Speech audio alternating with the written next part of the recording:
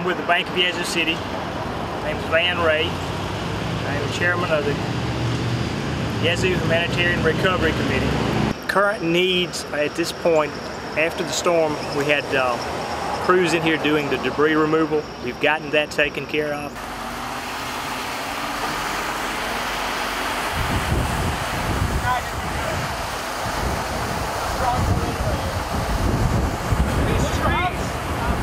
Our current needs now are to get the people's houses rebuilt or reconstructed.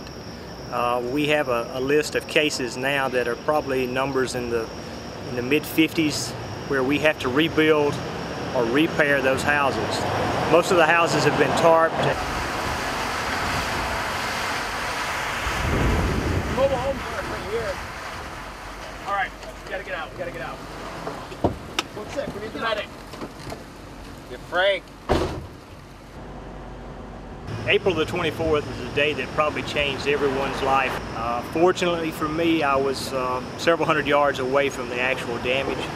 Um, the tornado ripped through Yazoo County, uh, in some places a mile to, to a mile and a half wide, went from one end of the county to the other.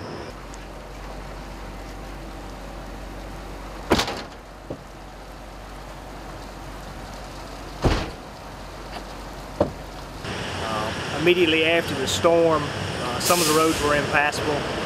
Um, unfortunately, there were four people that were killed here. Um, about $50 million worth of damage is estimated. Uh, about $8 million worth of timber damage. Uh, over 300 homes were damaged here. Some uh, beyond repair, others had various degree of damage.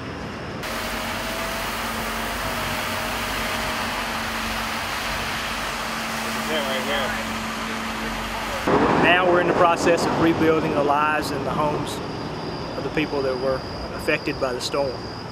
Uh, our committee has formed a, um, a spiritual needs committee. We've formed a group to, to build houses.